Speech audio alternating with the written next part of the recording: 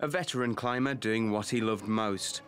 Ueli Steck was known as a Swiss machine for his rapid pace and his speed records.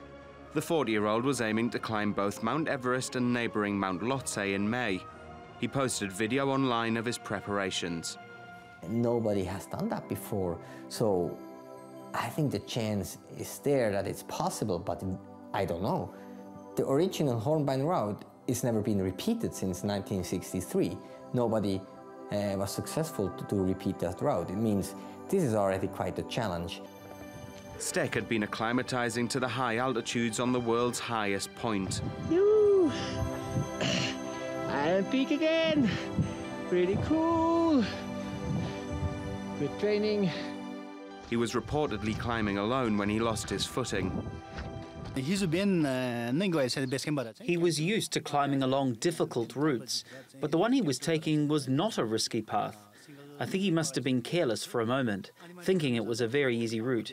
I heard he slipped and fell a thousand meters. The mountaineer's body was brought back to the capital Kathmandu. Steck had climbed Mount Everest in 2012 without using an oxygen cylinder. A year later, his group had to abandon another ascent after getting attacked by local Sherpa guides. And in 2016, he stumbled across the bodies of two US climbers who'd been missing for 16 years. As he prepared for his latest ascent, he talked about the challenges. To be not successful is just if you have if you have an accident or you're gonna die. That's definitely not successful. Those who knew him say that's not how he will be remembered and have called it a truly tragic day for mountaineering. Oliver Whitfield Miocic, TRT World.